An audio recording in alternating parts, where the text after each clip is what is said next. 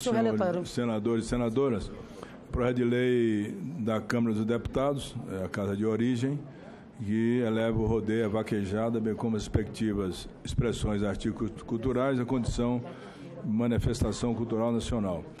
A Comissão de Esporte, eu fui designado para fazer o relatório e apresento aqui que o projeto tem nos seus quatro artigos, primeiro artigo, o artigo primeiro que tem o mesmo teor da emenda, tal como acima de transcrita. O segundo, o artigo 2 determina, por sua vez, que o rodeio vaquejada, bem como as respectivas expressões artísticas culturais, passem a ser consideradas manifestação à cultura nacional.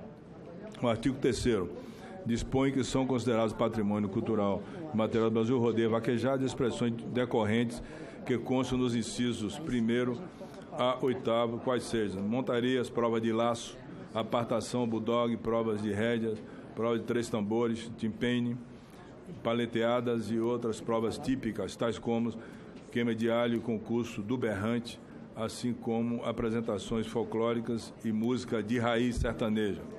O artigo 4, 4 por fim, estabelece a entrada em vigor da projetada lei na data da publicação.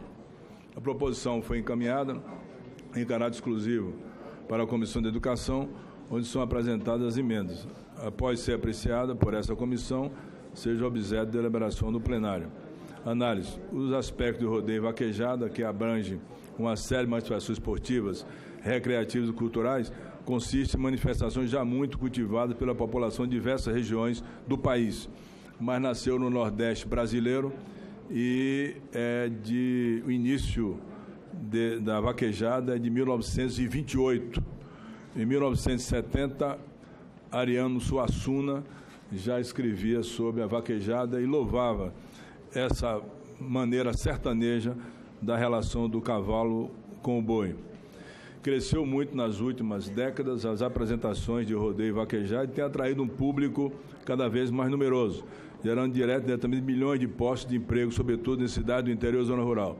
Senhora Presidente, senhores senadores, hoje a vaquejada emprega empregos diretos e indiretos, 600 mil empregos, é, numa análise feita nos estados onde tem a prática.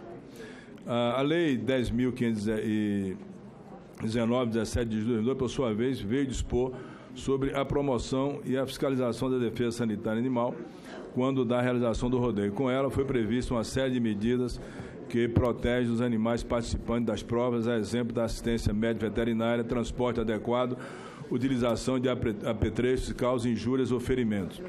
A vaquejada é, hoje é feita em várias cidades do, do Nordeste brasileiro e outros no Oeste e também no Centro-Oeste, com análise, inclusive com TAC, termo de ajuste de conduta com o Ministério Público. Não é permitido mais o chicote ao animal, ao cavalo, nem a espora. E os animais adultos, os bois, eles é, hoje protegem muito com uma, uma pista de até dois palmos de areia lavada para proteger o animal e uso da cauda artificial. Não se usa hoje, em função de alguns, alguns, alguns casos, se usa até a cauda artificial que o presidente da vaquejada está até aqui posso mostrar a qualquer momento. No que se refere às leis estaduais, tem tratado sobre o mesmo tema. Verifica uma ampla e difundida preocupação o máximo de segurança aos animais por meio de práticas tais como utilização exclusiva de bois adultos e caldo artificial, como falei aqui agora. A vaquejada, senhora presidente, tem lei estadual aprovada no estado do Ceará por unanimidade na Assembleia Legislativa. O estado do Ceará tem 8 milhões de habitantes. Na Bahia, com 63 deputados, a vaquejada foi aprovada por 62 deputados, com 14 milhões de habitantes. Tem lei no Rio de Janeiro e outros tantos estados da federação. A determinação constante no artigo 1 e 3 da proposição de que o rodeio a vaquejada de expectativa expressão artistas culturais seja considerado manifestação de cultura nacional integrantes do patrimônio cultural e material. Coaduna-se ao que dispõe o artigo 216 da Constituição da República. Esse artigo define como constituintes do patrimônio cultural brasileiro os bens de natureza material e imaterial. tomados individualmente ou em conjunto por portadores de referência à identidade, à ação, à memória e diversos grupos formadores da sociedade brasileira, nele incluído outros em forma de expressão e modos de criar, fazer e viver. O rodeio a vaquejada apresenta, portanto, os pré-requisitos necessários para serem considerados patrimônio cultural brasileiro e material. Eu respeito muito, inclusive o próprio senador Anastasia, as opiniões contrárias e nesse período inteiro em que eu fui designado para ser o, o, relator dessa matéria, eu tenho o meu Facebook e em toda a minha vida de política, eu tenho já 30 anos de política partidária, nunca fui tão agredido por ativistas que pensam ao contrário. Que não me intimidam, porque eu, eu nasci no sertão da Bahia, tenho um pai boiadeiro, cheguei aonde cheguei por muita determinação, não, não nasci em berço de ouro, corri vaquejado até os 40 e poucos anos, muito pouco, mas tem outros aqui que correram, e eu acredito que se proibir a vaquejada, vai ter que proibir também a, a corrida de puro sangue inglês na cidade de Jardim, São Paulo, 2.200 metros, quando o cavalo sai do partidor apanhando até a chegada, muitas vezes tem fibrilação cardíaca e cai duro no chão, é muito mais maltrato do que a vaquejada. Tem que proibir o hipismo, onde rompe o boleto do animal, rompe o joelho do animal. Na, na Olimpíada, inclusive aqui no Brasil, aconteceu isso. O, o, o polo, enfim, todas as atividades. Tem que se proibir também que aqueles que são contra parem de chegar nas capitais pegando os vira-latas e fazendo a castração sem anestesia. Tem que proibir a castração do boi para que ele, não sendo castrado, não permita a picanha na mesa dos barões dos grandes centros urbanos. Tem que proibir também que se ferre o boi.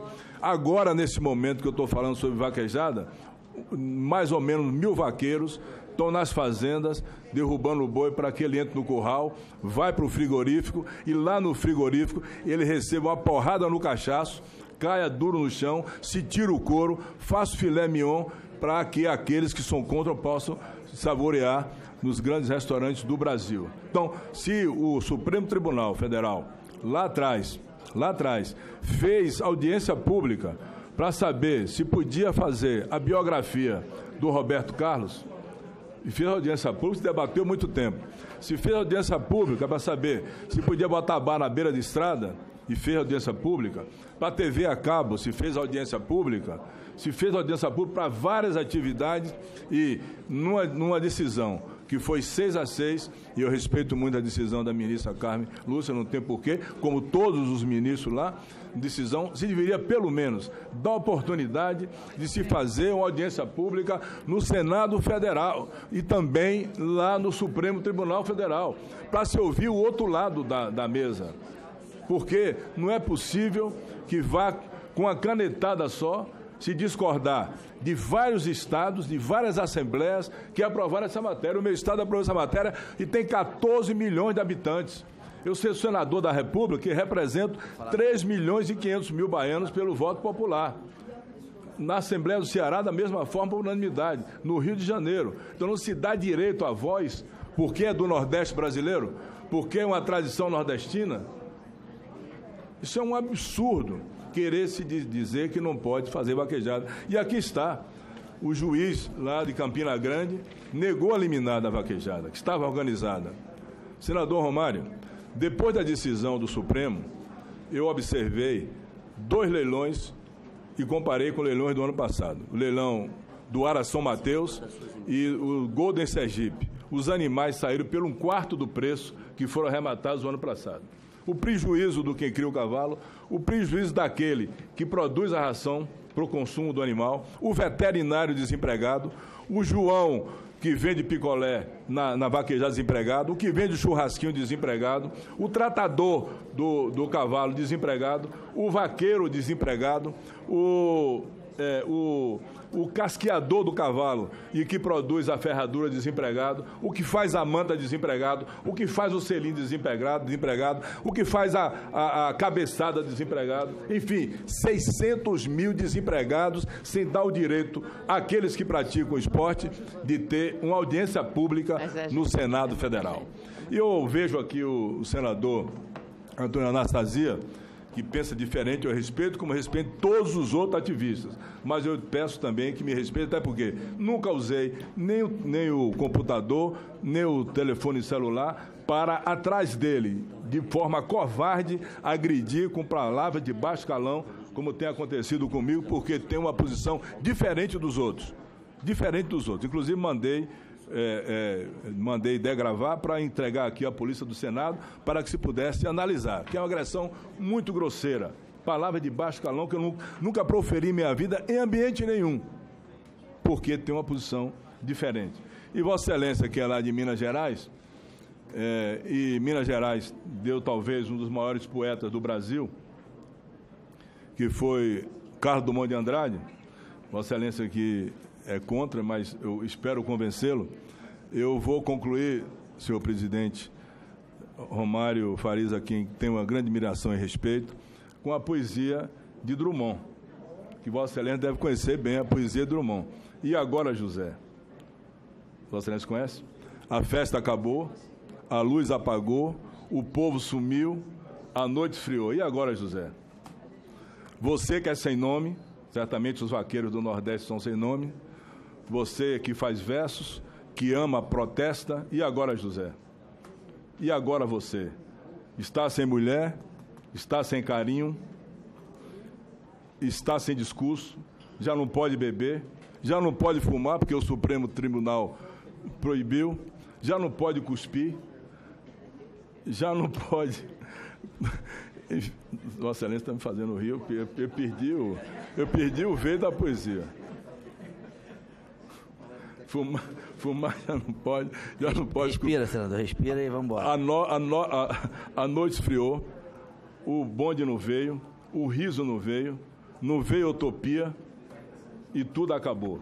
Então querem acabar com a, com a vaquejada que vem de 1928, que Ariano Suassuna dedicou parte de um livro dele e dos seus momentos melhores à vaquejada, com uma canetada só. Ou seja, se dá a oportunidade de se ter uma audiência pública para saber se se pode fazer a biografia do Roberto Carlos, que é uma pessoa só, única, que eu sou um admirador dele. Do, dos bares na beira da estrada. E aqui não. Aqui pega, é do Nordeste, caneta no Nordeste. Aí eu desprezo por Luiz Gonzaga, por Dominguinhos, pelos vaqueiros todos que trabalham no Nordeste e digo com toda sinceridade: todos esses Josés, Joãos, Manuels não vão para lugar nenhum se ficarem desempregados. Não vão para droga, não vão para cachaça, não vai assaltar, não vai roubar. Porque se tem uma coisa que define o povo da vaquejada e do Nordeste brasileiro é a moral, a honra e a dignidade. Eu me criei assim numa casa dessa, dessa natureza no interior da Bahia, com meu pai, com, na, na luta e na labuta com o cavalo e com o boi e posso dizer que essa, esse é um colegiado muito mais decente do que muitos colegiados que se reúnem aqui nos centros de traficância de Brasília para explorar o Brasil e esse é um povo que contribui para o Brasil e para o emprego no Brasil. Para discutir, senhor presidente. Senhor presidente, para discutir. Para discutir também aqui, é, para discutir. Eu já ia discutir. Senador Antônio Anastasia primeiro, senador Gustavo Buarque, Lídice da Mata. E senador Teomário. Vamos, Muito obrigado, senhor presidente.